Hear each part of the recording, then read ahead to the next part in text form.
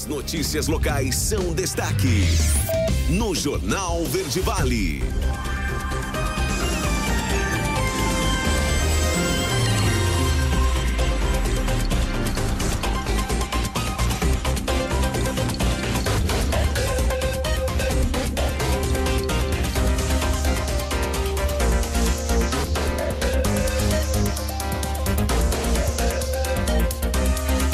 7 horas 27 minutos, 7 e 27 Estamos chegando, trazendo as informações deste fim de semana, área policial, Corpo de Bombeiros, a partir de agora, aqui na programação do nosso Jornal Verde Vale. Um bom dia para você, obrigado sempre pelo carinho, da sintonia audiência aqui na nossa programação. Os resumos né, dos principais acontecimentos você fica sabendo a partir de agora. Jornal Verde Vale. Bombeiros. Muito bem, vamos lá, 7 horas 28, 7 e 28 Vamos com o Corpo de Bombeiros, o resumo dos principais atendimentos. De acordo com o que foi enviado pela corporação, nós tivemos registrado neste fim de semana ah, um acidente, né? Salvamento foram acionados. A equipe de resgate, busca e salvamento acionados na Avenida 3 com a rua 6A, no setor Martins, para atendimento a uma ocorrência de acidente de trânsito, carro e moto. No local, a equipe do Corpo de Bombeiros se deparou com duas vítimas do sexo feminino, sendo a primeira de 16 anos, que se identificou como condutora da moto, apresentava uma contusão no membro inferior esquerdo. A segunda, vítima, 17 anos, também menor de idade, se identificou como acompanhante da moto e apresentava um ferimento no rosto, além de várias escoriações pelo corpo. Foi feita a limpeza dos ferimentos, ah, e transporte também para a unidade de pronto atendimento. É, registrado também por volta de 8h41 na Avenida São João, atendimento a uma vítima de ataque de cachorro. É, no local deparou com uma mulher, ela 35 anos de idade, proprietária do cachorro, que veio a ser agredida. Segundo testemunhos, o cachorro que a mordeu escapou e foi em direção a outro animal de menor porte aí para brigar é, que estava dentro da casa. Na tentativa de separar a briga, a proprietária foi agredida. A vítima teve ferimentos no braço, abdômen e perna. Foi conduzida à unidade de pronto atendimento. O cachorro ficou aos cuidados do proprietário é, da residência também. Ainda tivemos registrado uma outra ocorrência, acidente de trânsito envolvendo moto e moto. Ah, foi na Avenida das Araras, esquina com a Rua Mutum, no setor Cidade Nova. No acidente, uma Honda Bis 125 e uma CB 150 colidiram, vitimando uma pessoa. A condutora da moto Bis de 28 anos de idade, que apresentava uma fratura fechada no braço, escoriações leves, ah, e também estava consciente, também foi encaminhada para a UPA de nossa cidade. Então, estas as principais ocorrências registradas pela equipe do Corpo de Bombeiros aqui de Mineiros nessas últimas nesse neste fim de semana aqui em nossa cidade, tá? No Jornal Verde Vale, ocorrências policiais. Vamos então para a área policial trazendo os principais registros policiais. Vamos lá, a gente começa é, com furto. Esse foi registrado no residencial Alvina Paniago, onde a vítima ela procurou a delegacia relatando é, que na madrugada do, do último dia 6 entraram em sua residência. O portão não estava trancado, então facilitou a entrada do autor. O autor é, quebrou o vidro do carro e pegou cerca de 25 mil reais Nossa. em espécie. Aí a gente, né, a, a, como foi narrada a ocorrência, não é à toa. O cara entrou na casa, já arrebentou o vidro do carro e pegou o dinheiro. Alguém que tinha essa informação. Com certeza. Porque Foi do- direto, né? Foi direto, né? Se fosse um furto em residência, ele teria tentado entrar na casa, levado algum outro objeto, não, mas pelo que foi narrado, foi direto aí no local. Já Ainda- sabia onde estava. Isso, exatamente. Tivemos também uma outra, um dano registrado, onde a, a polícia ela foi acionada. É, o segundo solicitante foi agredida aí pelo seu ex-companheiro ao chegar no local. Ambos estavam, não estavam mais no local. E segundo testemunhas, a mulher informou aqui que o rapaz havia quebrado um aparelho celular é, e tinha pego a filha é, do casal. é, indo aí para um local de festas, né? Aí a polícia então foi acionada, é, deparou aí com o rapaz, já aí com a filha nos braços, né? A ex-esposa chorando e relatou que teria sido agredida.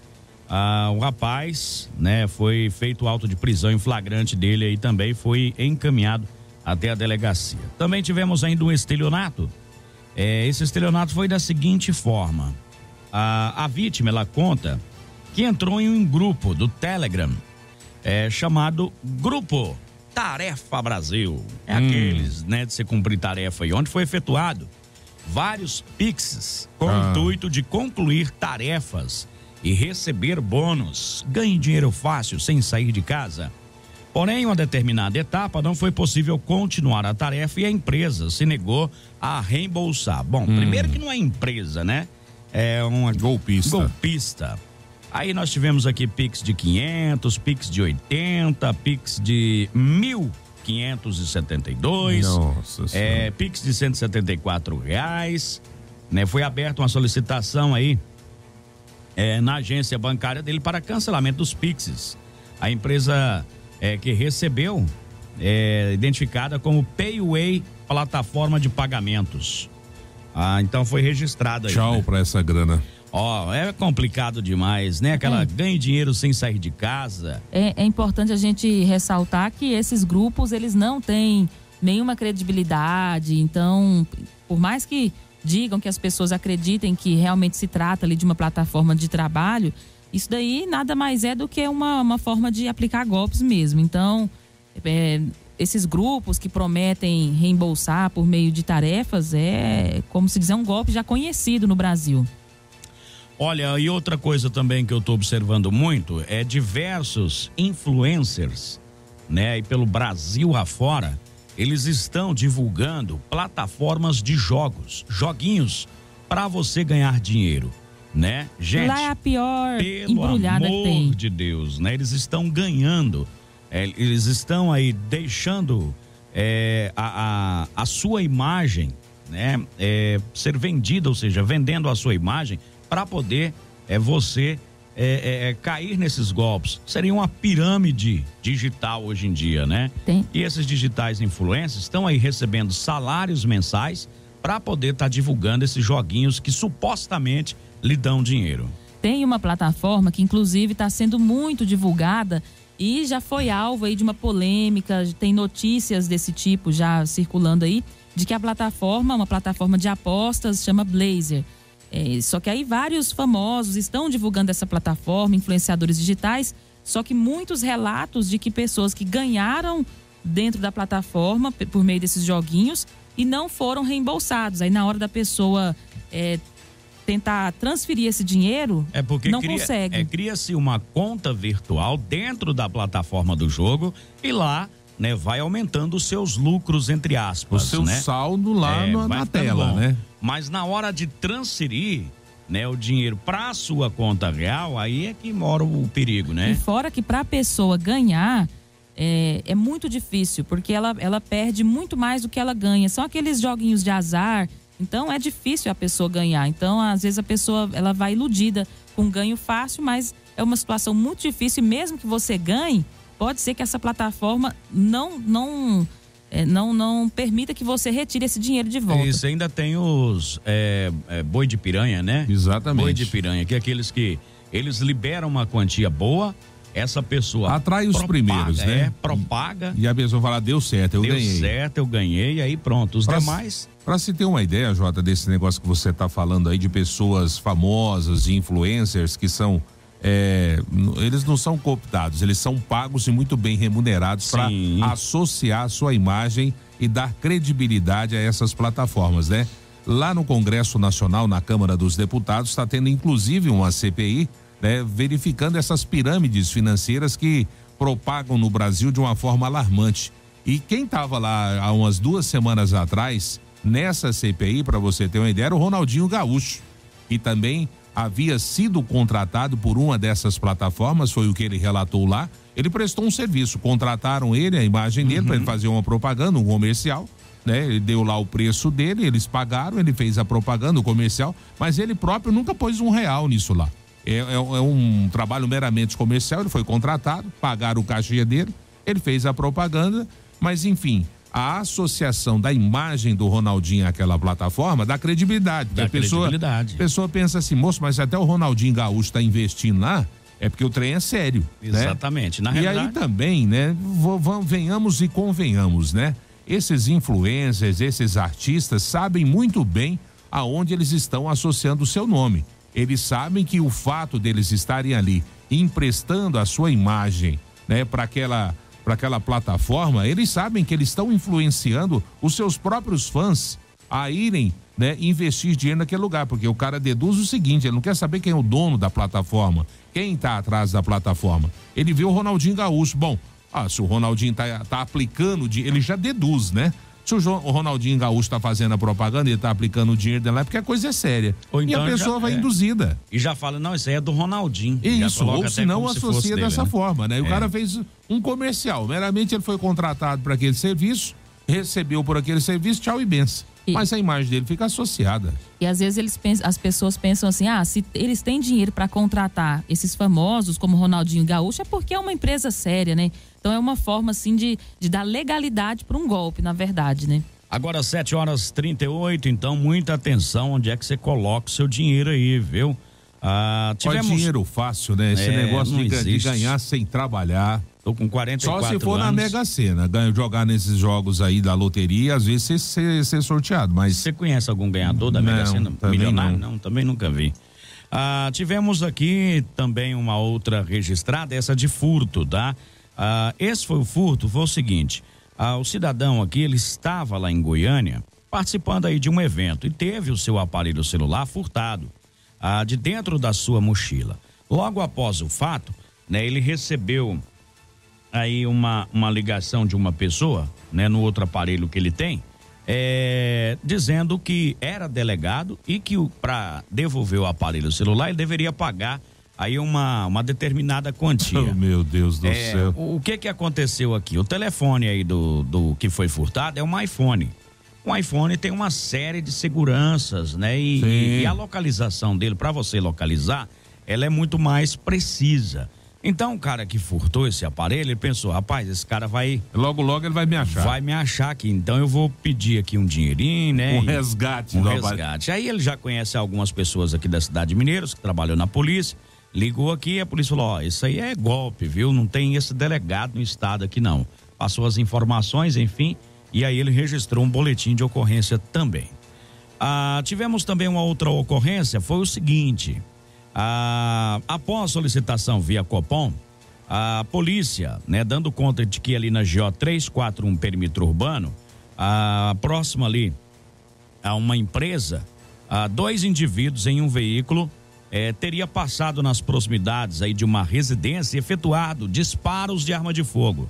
De pronto, a equipe é, do 46 a equipe do CPE, foram até o local para colher mais dados. Né? O fato ocorreu na J341, ah, ali, né, onde apresentou-se uma, uma mulher ali e o seu esposo, os quais narraram né, a versão de que estavam sentados aí na frente da residência oportunidade em que um veículo EcoSport de cor cinza eh, teria se aproximado com dois indivíduos, estando uma pessoa ah, identificada no banco do passageiro, ocasião em que colocou um cano aí de uma arma de fogo, é tipo espingarda, para fora da janela e efetuou um disparo em direção ao casal.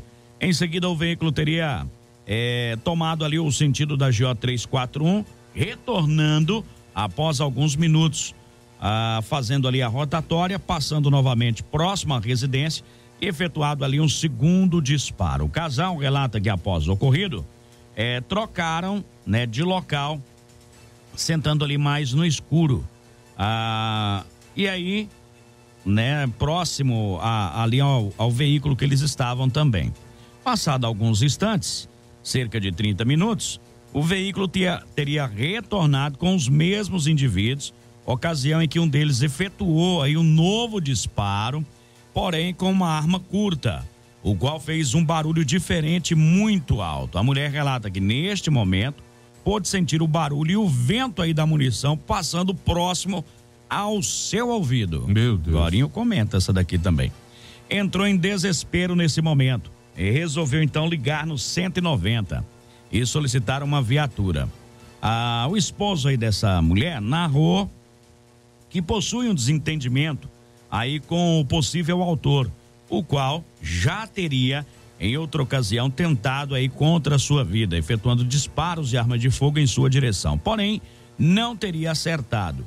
Ah, ocorrido foi no início aí desse ano. Após colher essas informações e características do veículo, a equipe né, da companhia aí de policiamento especializado é, saiu em patrulhamento com fins de localizar os autores e logrou este em abordar aí um veículo com as mesmas características ah, ali no setor Coacó 1, sendo conduzido aí pelo suspeito, o qual apresentou-se em visível estado de embriaguez e nervosismo. Odor etílico, olhos vermelhos, vestes desarrumadas e molhadas. Durante a busca, é, em cima do banco traseiro do veículo, foi localizada aí uma capa é, de arma tipo espingarda, contendo aí é, em um bolso pequeno cinco munições intactas é, calibre 22. Dentro do veículo foi localizado ainda em um dos portas objetos um copo com bebida alcoólica. Entrevista aí com suspeito, esse foi é, certificado aí de seus direitos constitucionais, inclusive de permanecer em silêncio, é, porém optou em falar, narrando aí é, ter uma desavença com a vítima no caso aqui e que teria se envolvido em outras confusões com o mesmo, inclusive neste ano. Ah, o rapaz aqui, né, que deu os tiros, conta aí que o, o outro lá, a vítima, teria ele desferido aí uma pedrada em sua cabeça, ocasião em que teria é, ido para casa buscado a arma de fogo calibre 22 e efetuado diversos disparos contra o mesmo, mas que não teria acertado nenhum. Ele diz que não possui habilitação para dirigir ah, e ainda estava sob o efeito é, de bebida, né? E aí foi registrado esse fato é, pela polícia, tá? Ah, deixa eu ver aqui o desenrolar, se ele foi detido. Ah, conforme orientação do delegado, foi lavrado o auto de prisão em flagrante aí contra este indivíduo. Agora eu tô aqui pensando um, um seguinte: passa um cara, põe aí uma arma de fogo para fora, mete bala. Beleza. Aí passa um pouquinho, ele retorna de novo. Beleza não, dá né? outro tiro. Beleza. Né, não, aí não tá espantando a muriçoca, não, porque o camarada no primeiro tiro, meu Dois amigo. Tá dormente. Eu já teria dado no pé. Não, só mudou de lugar. Foi pra um ah, lugarzinho mais minha escuro. cadeira mais pra cá, mais tá bom. pra cá e tá bom. Aí quando viu que a arma era curta e talvez o outro era melhor de tiro, porque já passou raspando a orelha de um ali, aí que resolveram sair, né, sair do local e acionar a polícia. Aí no primeiro tiro eu já tinha vazado, né? Ah, eu também teria sangue frio de ficar esperando Ficar o segundo esperando, tiro, não. só ir ali pra mais um escurinho, coisa e tal. É. É um dos fatos aí que me chamou. Eu sei que é rixa entre os dois aí, possivelmente não vai parar por aí, né? É, ainda teremos mais notícias dessas rixas por aí. Tivemos ainda no setor leontino uma outra é, ocorrência, essa daqui foi o seguinte, uma abordagem é, e uma verificação de importunação sexual. Vamos ver o que, que aconteceu. Por volta de 10 e 20 da noite, a polícia ela foi acionada até este endereço, que é um comércio, onde, segundo a solicitante, o indivíduo teria passado a mão no corpo de sua filha. Ao chegar no local, falamos aí com a mãe, é, que nos informou que a filha é, foi levar aí uma, uma comida aí para o seu namorado é, em um bar, né? Quando o suspeito a importunou, até passou a mão em suas costas. De acordo com a denúncia, ele falava, se, perguntava se ela tinha namorado, é, se também é, se tinha uma flor, a chamando de amor e ainda se queria beber uma com ele. É o verdadeiro Dom Juan de Boteco. Hum. Ah, de, de acordo ainda, uma amiga presenciou o momento em que o indivíduo eh, teria, inclusive, tocado aí o corpo da jovem. É o famoso É, assédio, né? Isso, todos foram conduzidos aí para a delegacia e vão ser ouv- ouvidos posteriormente por portaria, ou seja, serão intimados a comparecer na delegacia. Ninguém foi preso em flagrante ainda. Ah, tivemos ainda uma outra de uma outra chamada em atendimento onde a polícia fazendo ali um monitoramento no setor Boa Vista. É, segundo informações aí do comunicante, minutos antes havia acontecido aí uma vias de fato é, entre duas pessoas, né? Uma delas estaria de posse aí de uma arma branca, facas, aliás, de a duas armas. Camarada estava com duas facas. E o mesmo fez ameaças e posteriormente fugiu do local. Saiu aí tomando famoso rumo ignorado. A polícia deu um, um quadrado ali, uma volta na região, mas não conseguiu localizar o suspeito. Também tivemos ainda uma outra ocorrência onde a polícia ela foi chamada após ter acontecido aí uma colisão com objeto fixo. A polícia foi acionada via é, 190, onde é, o condutor de um veículo, um Gol de cor branca, é, teria, segundo testemunhas, é, perdido o controle aí da direção do carro, subindo na calçada e chocando-se contra uma pilastra aí da varanda de uma residência, causando a derrubada aí da mesma. As testemunhas é, disseram que o condutor aparentava sinais de embriaguez. Contudo, da chegada da equipe no local, o veículo já estava estacionado na via, o condutor fora do veículo tentando trocar o pneu do carro, que havia estourado. O condutor do veículo se recusou a fazer o teste do bafômetro. Diante da recusa, foi feito aí ao auto de infração. É, o veículo é, foi liberado no local devido à falta de meios aí para condução até a delegacia, mas o rapaz foi encaminhado aí para delegacia de polícia. Ah, conforme a orientação do delegado de plantão, foi feito aí o auto de prisão em flagrante é, pelo o fato de estar aí embriagado. O fato aconteceu ali no setor Leontino. Então tivemos estas ocorrências nessas, nesse último fim de semana aqui em nossa cidade. Agora 7 horas 49 minutos, 7 e 49 Vamos girando, né? Trazendo mais notícias na nossa programação. Jornal Verde Vale, a voz do cidadão. Muito bom, o pessoal tá participando por aqui, né? Tá participando por aqui. Ah, recebi duas vezes essas tarefinhas. É, corri no Google, procurei e descobri que era golpe. Respondi para eles que era golpe e mandei vídeo é, pior que não é número do Brasil, né? Então tá aí registrado essa essa ocorrência aí, tá? Aí o pessoal, né, sempre é, caindo nesses golpes na eminência de ganhar ou de... dar o dinheiro fácil. É, é complicado. Ganhar esse... dinheiro sem trabalhar é complicado. Eu tô com 44, eu nunca vi um dinheiro fácil chegar na minha mão, né? E pode ter certeza. Tem não. Quando vem fácil, já diz o ditado, vai mais fácil ainda, né? Quando o caboclo ganha um dinheiro que não está esperando, a primeira coisa que ele pensa é em gastar o dinheiro. Oh, não estava no orçamento. Não estava no orçamento, vou gastar, né? Aí é o chamado dinheiro, vem fácil, vai fácil também. Pois então, né? Muita gente caindo em golpes, em golpes assim que você vê, é, para quem está de fora, é, tá claro ali, né? Tá claro a situação é, de que é golpe. Tem um amigo meu que ele recebe, ele participa de muitos grupos e aí ele recebe constantemente as tais propostas, né? Para trabalhar. Aí ele já manda assim: Você tem namorado? pra ver se é, é fugenta. pra ver se é fugenta. Não, é que eu tô procurando namorado, eu tô solteiro há algum tempo. A estratégia a dele. A estratégia dele, né? Ele não dá assunto aí. Login bloqueia ele, pronto, e aí ele já já espera só o próximo. Sabe? Eu achei inusitado. Ele assim, do nada ele pergunta a pessoa se tem, se ela tem namorado ou não, né?